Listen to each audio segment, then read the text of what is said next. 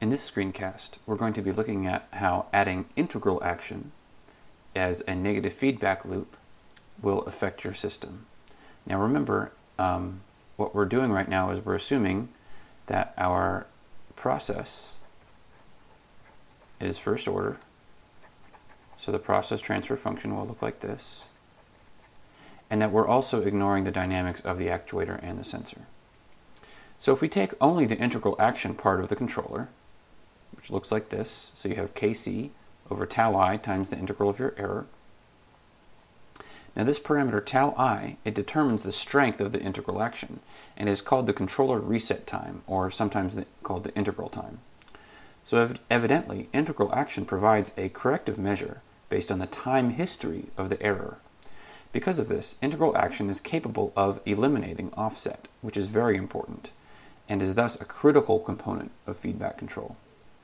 Now the transfer function for an integral only action controller. Now of course you will never actually use a controller that's integral only. But the transfer function of just the integral part is equal to kc over tau i times s. Because the, the um, Laplace transform of the integral would be 1 over s. So you have kc over tau i times 1 over s, and then you divide e of t to the other side to get your transfer function. Okay, so there's your controller transfer function for your controller. Now remember your closed loop transfer function looks like this. And we ask ourselves then, how does that work out when we put in um, the definition of GC and of GP in this particular case? So this would be equal to Kc over tau i s that's our GC times GP, which would be KP over tau PS plus 1. All of that divided by the exact same thing,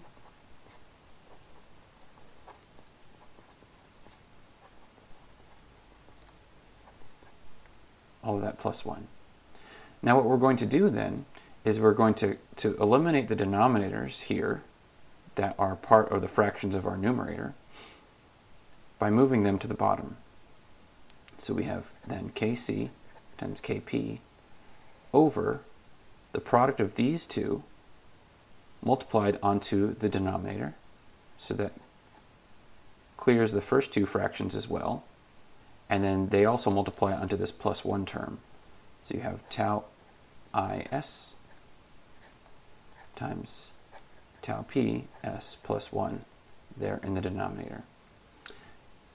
Now, if we work that out, what that denominator, the polynomial there in the denominator is equal to, what we get is equal to kc times kp in the numerator, all divided by, and then multiplying this all out, what we get is tau i, tau p times s squared plus tau i times s plus kc times kp.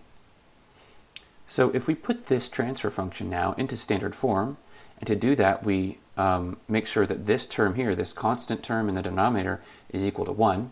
So we are going to both multiply the numerator by 1 over kckp and the denominator by 1 over kckp. Then what we get is our transfer function, closed loop, of, as a function of s in standard form is equal to, now we have just 1 in the numerator, because we've divided by kc kp in the numerator, and we're going to do the same thing in the denominator. So 1 over tau i tau p divided by kc kp times s squared plus tau i over kc kp times s plus 1. So there's our standard form. And what that means is, if we compare that to a standard form for a second order system, which is equal to 1 over tau n, closed loop, squared, s squared, plus 2 tau n closed loop times zeta closed loop times s plus 1. Sorry that I ran out of room there. If we compare that, this is in that form because you have a constant times s squared, a constant times s, plus 1. then we can look at this and calculate what is our tau n closed loop.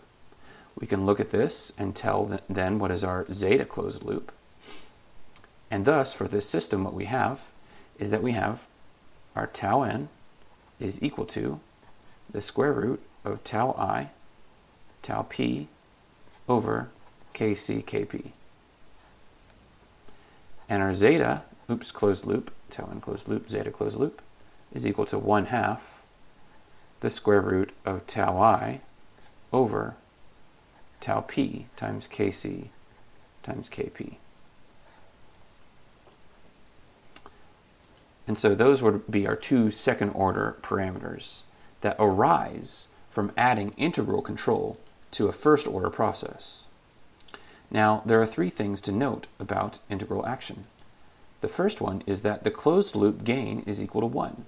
So here would be our, our closed loop gain up here. Now remember, for proportional only action, this closed loop gain was always less than 1.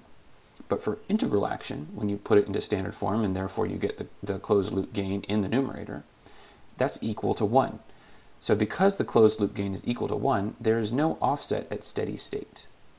So this is the primary advantage of integral action, is that it, it eliminates offset. Now the order, overall order of the process is increased by one. Remember, we started with a first order process, and when we added integral action, we ended up with a second order process. The other thing to note is that as tau i is decreased, that is, the ag aggressiveness of integral action is increased, one gets faster dynamics at the expense of larger overshoots and more sustained oscillations. In other words, as we decrease this number here, zeta also becomes smaller, so you have faster dynamics, but you also start to get worse and worse oscillations.